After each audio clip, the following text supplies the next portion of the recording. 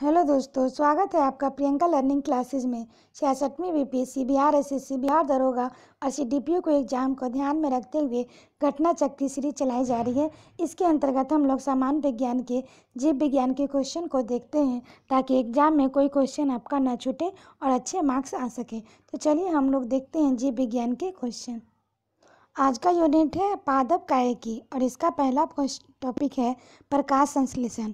इससे हम लोग पहले नोट्स के माध्यम से देखते हैं। तो पहला क्वेश्चन पहला फैक्ट है, प्रकाश संश्लेषण वह क्रिया है जिसमें पौधा हरे भाग, सूर्य के प्रकाश ऊर्जा को ग्रहण कर वायु से ली गई कार्बन डाइऑक्साइड तथा मृदा से शोषित जल एच द्वारा कार्बोहाइड्रेट्स का निर्माण करते हैं।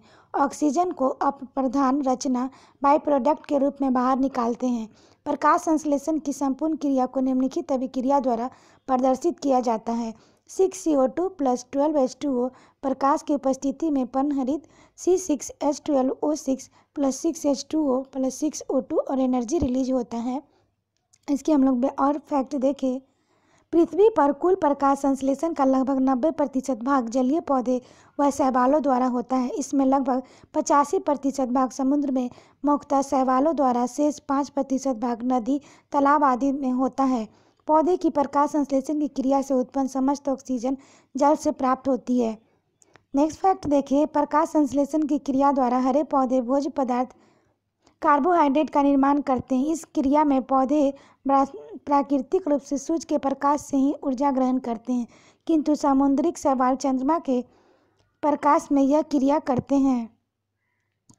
तथा विद्युत प्रकाश में भी पौधे के प्रकाश संश्लेषण की क्रिया होती है। नेक्स्ट फैक्ट है, प्रकाश अवशोषित करने वाले अणुओं को प्रकाश संश्लेषी वर्णक कहते हैं, जो क्लोरोप्लास्ट हरित लवण के ग्राना भाग में पाए जाते हैं। यहाँ से इंपॉर्टेंट ये क्वेश्चन बनता है। यह मुख्यतः नीला, बैगनी, लाल व नारंगी किरणों का अवशोषण करते हैं। नेक्स्ट फैक्ट है, प्रकाश संश्लेषण की क्रिया क्लोरोप्लास्ट नामक कोशिकांग की संपन्न होती है। क्लोरोप्लास्ट में हरे रंग का वर्ण, क्लोरोफिल पनहरी पाया जाता है। मैग्नीशियम क्लोरोफिल का प्रमुख तत्व है। नेक्स्ट हम लोग देखें फैक्ट प्रकाश तापक्रम कार्बन डाइऑक्साइड तथा जल प्रकाश संश्लेषण की क्रिया को नियंत्रण करने वाले बाह्य कारक है। प्रकाश संश्लेषण पर प्रकाश का प्रभाव तीन प्रकार का होता है। यह परकता प्रकाश का प्रकार तथा अंतराल तीनों से प्रभावित होता है। नेक्स्ट फैक्ट है, दुर्बल प्रखरता के प्रकाश में संबंध पनरंध्रों में न खुलने से तथा गैस के विसरण बहुत धीमी दर होने के कारण प्रकाश संश्लेषण की क्रिया नहीं होती है। जैसे जैसे प्रकाश की तीव्रता बढ़ती है, प्रकाश संश्लेषण की क्रिया आरंभ हो जाती है तथा गति प्राप्त करती है। नेक्स्ट फैक्ट है, विभिन्न तरंग धारे के प्रभाव के संबंध में अंतरिम अधिकतम प्रकाश संश्लेषण लाल प्रकाश 650 नैनोमीटर में तथा द्वितीय अधिकतम नीले प्रकाश 475 नैनोमीटर में पाया जाता है।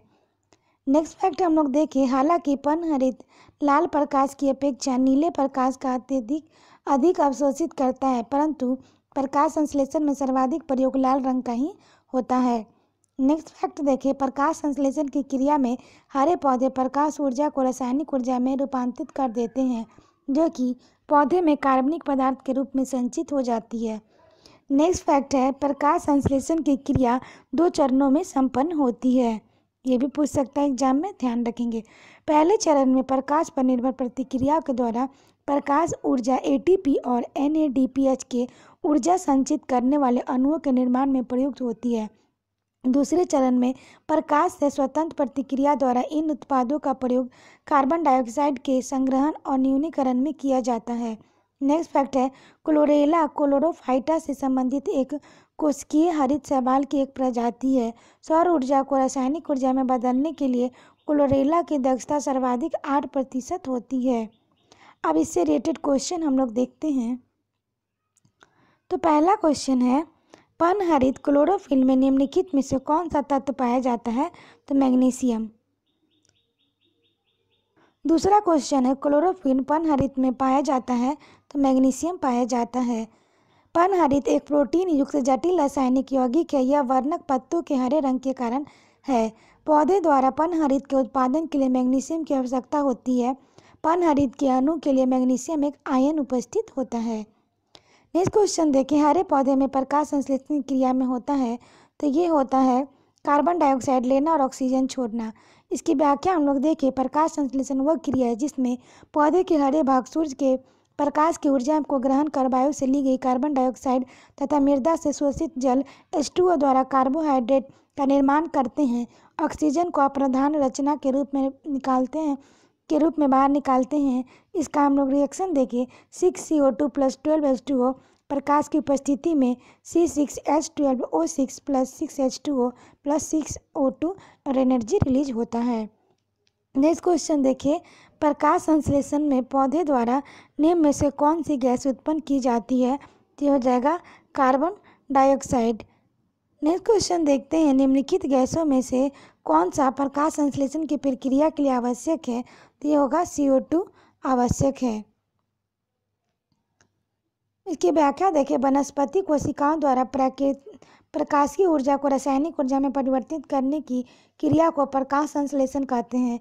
प्रकाश संश्लेषण वह क्रिया है जिसमें पौधे अपने हरे रंग वाले अंगों जैसे पत, पत्ती द्वारा सूर्य के प्रकाश की उपस्थिति में वायु से कार्बन डाइऑक्साइड और भूमि के जल को लेकर जटिल कार्बनिक खाद्य पदार्थों जैसे कार्बोहाइड्रेट्स का निर्माण करते हैं तथा ऑक्सीजन गैस बाहर निकालते हैं।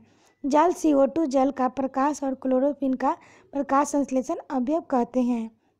नेक्स्ट हम लोग देखते हैं प्रकाश संश्लेषण प्रक्रिया के लिए निम्नलिखित में से किसकी उपस्थिति की आवश्यक नहीं है? तो ऑक्सीजन इसकी व्याख्या देखिए प्रकाश संश्लेषण की क्रिया में पौधे अपने रंग, हरे रंग वाले अंगों जैसे पत्ती द्वारा सूर्य का प्रकाश की उपस्थिति में वायु की कार्बन डाइऑक्साइड तथा भूमि से जल लेकर जटिल खाद्य पदार्थों जैसे कार्बोहाइड्रेट्स का निर्माण करते हैं और ऑक्सीजन गैस बाहर निकालते हैं। नेक्स्ट क्वेश्चन है ऑक्सीजन जो प्रकाश संश्लेषण से उत्पन्न होती है तो ये आती है तो जल से आती है। इसकी व्याख्या है, पौधे की प्रकाश संश्लेषण की क्रिया में निकली समस्त ऑक्सीजन जल से प्राप्त होती है।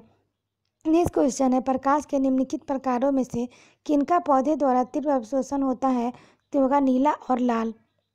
इसकी व्याख्या देखिए, पौधे क्लोरोफिल नामक वर्णक की सहायता से सूर्य की प्रकाश एवं कार्बन डाइऑक्साइड की उपस्थिति में अपना भोजन तैयार करते हैं। इस क्रिया को प्रकाश संश्लेषण कहा जाता है। नेक्स्ट है क्लोरोफिल रंग हरा होता है। इसके लिए यह सूर्य की विद्युत चुंबकीय स्पेक्ट्रम, इलेक्ट्रोमैग्नेटिक स्पेक्ट्रम में उपस्थित नीले तथा लाल रंग की अवशोषण तीव्रता से करता है। नेक्स्ट है, पृथ्वी पर अधिकांश ऑक्सीजन उत्पादित होती है तो शैवालों से होती है। इसकी व्याख्या देखिए, पृथ्वी पर कुल प्रकाश संश्लेषण का लगभग नब्बे प्रतिशत भाग जलीय पौधे व शैवाल द्वारा होता है। इसमें लगभग पचासी प्रतिशत भाग समुद्र में, मुख्यतः शैवालों द्वारा तथा शेष पाँच प्रतिशत भाग नदी, तालाब आदि द्वारा होता है। हरे पौधे द्वारा प्रकाश संश्लेषण की क्रिया में सी का अवशोषण और कार्बोहाइड्रेट तथा ओ का उत्पादन होता है। नेक्स्ट क्वेश्चन है, प्रकाश संश्लेषण होता है तो दिन में अथवा रात्रि में। इसकी व्याख्या देखिए प्रकाश संश्लेषण हरे पौधे में होने वाली एक क्रिया है जिसमें भोज पदार्थ का निर्माण करते हैं। इस क्रिया में प्रकाश ही ऊर्जा प्रदान करता है। प्राकृतिक रूप से पौधे सूर्य से, सूर्य के प्रकाश से ऊर्जा ग्रहण करते हैं, किंतु समुद्रिक सवाल चंद्रमा के प्रकाश में भी वो क्रिया करते हैं, तथा विद्युत प्रकाश में भी पौधे की प्रकाश संश्लेषण क्रिया होती है। काफ़ी कंफ्यूजिंग वाला है क्वेश्चन इसे ध्यान रखेंगे। नेक्स्ट है, पौधे व पेड़ का खाना तैयार करने की प्रक्रिया कहलाती है तो फोटोसिंथेटिक कहलाती है। नेक्स्ट हम लोग देखते हैं वह क्रिया जिसके द्वारा पौधे अपना भोजन तैयार करते हैं तो ये कहलाती है तो ये प्रकाश संश्लेषण कहलाती है। नेक्स्ट है, प्रकाश संश्लेषण होता है तो क्लोरोप्लास्ट में होता है। इसकी व्याख्या है क्लोरोप्लास्ट नामक कोशिकांग में जैव रासायनिक क्रिया, प्रकाश संश्लेषण संपन्न होती है। क्लोरोप्लास्ट में हरे रंग का वर्ण क्लोरोफिल वर्ण, हरिण पाया जाता है। नेक्स्ट क्वेश्चन है, प्रकाश संश्लेषण हेतु सर्वाधिक क्रियाशील पदार्थ है तो ये लाल प्रकाश है। इसकी व्याख्या देखिए, प्रकाश संश्लेषण पर प्रकाश का प्रभाव तीन प्रकार से होता है। यह प्रखरता प्रकाश की प्रकार, उसके अंतराल तीनों से प्रभावित होता है। दुर्बल प्रखरता में प्रकाश में संबंध पर्णरंध्रों का न खुलने व गैसीय विसरण बहुत धीमी दर होने के कारण प्रकाश संश्लेषण की क्रिया नहीं होती है। जैसे जैसे प्रकाश की तीव्रता बढ़ती है, प्रकाश संश्लेषण की क्रिया आरंभ हो जाती है, तथा गति प्राप्त करती है। विभिन्न तरंग दरों के प्रभाव के संबंध में अधिकतम प्रकाश संश्लेषण, लाल प्रकाश तरंग दर 650 नैनोमीटर में या द्वितीय अधिकतम नीले प्रकाश तरंग दर सात, चार सौ पचहत्तर नैनोमीटर में पाया जाता है। हालाँकि पन हरित लाल प्रकाश की अपेक्षा नीला प्रकाश अधिक अवशोषित करता है, परंतु प्रकाश संश्लेषण में सर्वाधिक प्रयोग लाल प्रकाश में ही होता है। नेक्स्ट क्वेश्चन देखिए, प्रकाश संश्लेषण का कौन सा प्रकाश सबसे अधिक प्रभावशाली होता है? तो लाल होता है। नेक्स्ट हम लोग देखते हैं, प्रकाश संश्लेषण में सूर्य के प्रकाश में कौन सी रश्मियाँ की पनहरी द्वारा सर्वाधिक उपयोग किया जाता है? तो लाल। नेक्स्ट हम लोग देखते हैं, कृत्रिम प्रकाश है तो प्रकाश संश्लेषण का कारण होता, हो सकता है। इसकी व्याख्या है, सूर्य का प्रकाश प्रकाश संश्लेषण के लिए आवश्यक है। बल्ब आदि की कृत्रिम प्रकाश में भी प्रकाश संश्लेषण की क्रिया होती है। नेक्स्ट क्वेश्चन है, प्रकाश ऊर्जा का रासायनिक ऊर्जा में रूपांतरण निम्नतः होता है। तो यह होता है प्रकाश संश्लेषण द्वारा। इसकी व्याख्या है प्रकाश संश्लेषण की क्रिया में हरे पौधे प्रकाश की ऊर्जा से रासायनिक ऊर्जा में रूपांतरित कर देते हैं, जो कि पौधे में कार्बनिक पदार्थ के रूप में संचित हो जाती है तथा इन्हीं कार्बनिक पदार्थों द्वारा जंतु और पौधे का पालन पोषण होता है। नेक्स्ट है, निम्नलिखित में से कौन सा एक प्रक्रम प्रकाश संश्लेषण में सम्मिलित है? तो पर्याप्त ऊर्जा, स्थितिज ऊर्जा में परिवर्तित हो जाती है और संचित हो जाती है। इसकी हम लोग व्याख्या देखें। प्रकाश संश्लेषण की क्रिया मुक्त पौधे में संपन्न होती है, जिसके द्वारा सूर्य के प्रकाश मुक्त ऊर्जा को रासायनिक ऊर्जा में परिवर्तित कर किया जाता है। यह ऊर्जा बाद में पौधे की विभिन्न क्रियाओं से प्रयुक्त होती है। इस रासायनिक ऊर्जा का संचयन कार्बोहाइड्रेट अणुओं और शर्करा के रूप में होता है, जिनका संश्लेषण कार्बन डाइऑक्साइड और जल की सहायता में किया जाता है। प्रकाश संश्लेषण की क्रिया दो चरणों में संपन्न होती है। पहले चरण में प्रकाश पर निर्भर प्रतिक्रियाओं द्वारा प्रकाश पर ऊर्जा एटीपी और एनएडीपीएच की ऊर्जा संचित करने वाले अणुओं के निर्माण में प्रयुक्त होती है। दूसरे चरण में प्रकाश के स्वतंत्र प्रतिक्रियाओं द्वारा इन उत्पादों का प्रयोग कार्बन डाइऑक्साइड के संग्रहण और न्यूनीकरण के लिए किया जाता है। नेक्स्ट हम लोग देखते हैं, निम्नलिखित में से कौन अधिकतम कुशलतापूर्वक सौर ऊर्जा को रासायनिक ऊर्जा में परिवर्तित करता है? तो क्लोरेला। इसकी व्याख्या है, क्लोरेला अधिक से अधिक कुशलतापूर्वक सौर ऊर्जा से रासायनिक ऊर्जा में परिवर्तित करता है। वस्तुतः, कोरेला क्लोरोफाइटा से संबंधित एक कोशिकीय हरित शैवाल की एक प्रजाति है। सौर ऊर्जा को रासायनिक ऊर्जा में बदलने की क्लोरेला की दक्षता सर्वाधिक आठ प्रतिशत है। अतः विकल्प ए, उत्तर सही होगा। नेक्स्ट क्वेश्चन देखते हैं। निम्न में से कौन सा पौधे की जड़ों का कार्य नहीं है तो ये प्रकाश संश्लेषण नहीं है। इसकी व्याख्या है, प्रकाश संश्लेषण की क्रिया पत्तियों में होती है। प्रकाश संश्लेषण की दर पत्तियों की उपस्थित स्टेमाटा की संख्या और उसके बंद और खुलने के समय पर निर्भर करती है। इसके अलावा पत्ती की कोशिकाओं में क्लोरोप्लास्ट की व्याख्या भी प्रकाश संश्लेषण की दर को प्रभावित करती है। नेक्स्ट क्वेश्चन है अधोलिखित में से कौन पृथ्वी के कार्बन चक्र में कार्बन डाइऑक्साइड की मात्रा को नहीं बढ़ाता तो प्रकाश संश्लेषण। इसकी व्याख्या है, वायुमंडल में कार्बन डाइऑक्साइड, गैस, श्वास, दहन किन्वन विघटन आदि क्रियाओं द्वारा मुक्त होती है। स्थलीय पौधे इस सीधे, इसे सीधे ही वायु से ग्रहण कर लेते हैं। हरे पौधे प्रकाश संश्लेषण की क्रिया करते हैं, समय इस गैस को ग्रहण करके कार्बोहाइड्रेट का निर्माण करते हैं। नेक्स्ट टॉपिक अब हम लोग देखते हैं पादप पोषण। इंपॉर्टेंट है, इसे हम लोग पहले फैक्ट के माध्यम से देखें। तो पहला फैक्ट है, हरे पौधे स्वपोषी होते हैं अथवा ये कार्बनिक पदार्थ भोजन का निर्माण स्वयं करते हैं। पौधे द्वारा जल एवं अकार्बनिक तत्व भूमि से प्राप्त किया जाता है, तथा अकार्बनिक तत्व भूमि में खनिजों के रूप में उपस्थित होते हैं। नेक्स्ट फैक्ट है ये खनिजों तत्व या पोषक तत्व न्यूट्रिएंट एलिमेंट्स कहलाते हैं, तथा इनका पोषण खनिज पोषण मिनरल न्यूट्रिएंट्स कहलाता है। नेक्स्ट फैक्ट है, पौधे का अपना जीवन चक्र नियमित रूप से पूरा करने विकार रहित रहने तथा समुचित विकास के लिए सत्रह अनिवार्य तत्वों को चिन्हित किया गया है। इनमें से नौ तत्वों की आवश्यकता बृहद मात्रा में होती है यह दीर्घ मात्रा पोषक माइक्रोन्यूट्रिएंट्स एलिमेंट्स कहलाते हैं, जबकि आठ तत्वों की आवश्यकता लघु मात्रा में होती है, जिन्हें सूक्ष्म पोषण या लघु मात्रा पोषक तत्व कहते हैं। सूक्ष्म पोषक तत्वों की सांद्रता प्रायः एक पीपीएम से कम होती है। Carbon, hydrogen, oxygen, nitrogen, phosphorus, potassium, sodium, sulphur, calcium, magnesium दीर्घ मात्रा पोषक तत्व है। काफ़ी इंपॉर्टेंट है, ध्यान रखेंगे। बोरोन, क्लोरीन, कॉपर और तांबा लॉ मैग्नीज, मेलिनेज, मल्टीनेज, निकेल, जिंक, सूक्ष्म पोषक तत्व के श्रेणी में आते हैं। नेक्स्ट फैक्ट है, जाइलम को जल संवाहन उत्तक कहते हैं, इसका प्रमुख कार्य अवशोषित जल व खनिज लवणों के पौधे को विभिन्न भागों तक पहुंचाना है। यह चार प्रकार की कोशिकाओं, वहिकाओं, वहिका वही निकाय और वहिकाय काष्ठ मृदु, तुक तथा काष्ठ तंतु से निर्मित होता है। नेक्स्ट फैक्ट है, फ्लोएम को बास्ट उत्तक भी कहते हैं। इसका प्रमुख कार्य पौधे के हरे पौधे में निर्मित भोज पदार्थों को दूसरे पदार्थों में स्थानांतरित करना है। यह चार प्रकार की कोशिकाओं कोशिकाओं तथा चलानी अवयव शाखी कोशिकाएँ फ्लोएम में जुतक और फ्लोएम तंतु से निर्मित होता है। नेक्स्ट फैक्ट है अमरबेल एक पूर्ण स्तंभ परिजीवी आवर्त बीजी पौधा है, जिसका तना पतला, दुर्लभ और पीले रंग का होता है। इनका तना पोषक के चारों ओर लिपट कर परजीवी मूल का द्वारा भोजन, खनिज, लवण तथा जल प्राप्त करता है। अब हम इसका क्वेश्चन देखें।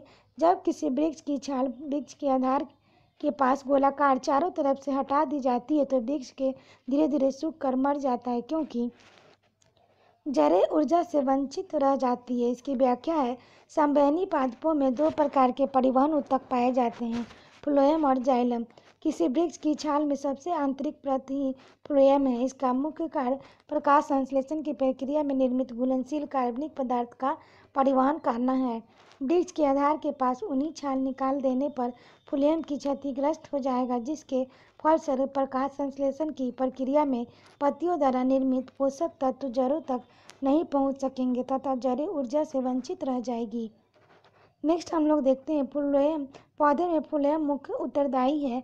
तो ये हो जाएगा, आहार वहन के लिए उत्तरदायी है।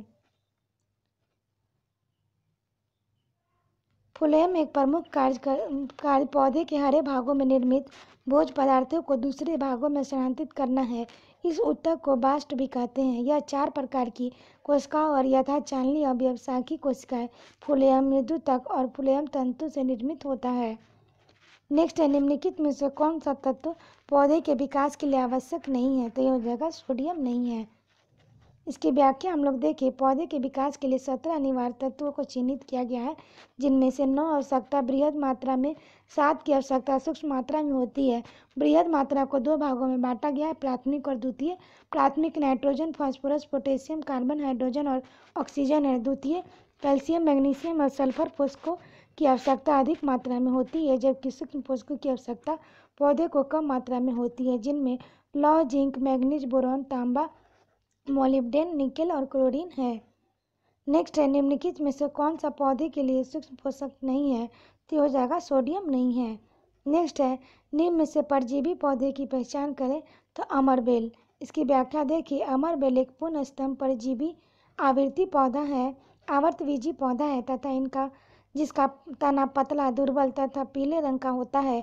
इनका तना पोषक के चारों ओर लिपट कर परजीवी मूल्य द्वारा भोजन, खनिज, लवण और जल प्राप्त करता है। आशा करते हैं आपको यह वीडियो पसंद आया होगा और इस वीडियो को एक दो बार अच्छे से सुन लें ताकि रिवीजन अच्छे से हो जाए। तो आज के लिए इतना ही दोस्तों, फिर मिलते हैं नेक्स्ट टॉपिक के साथ। Thank you.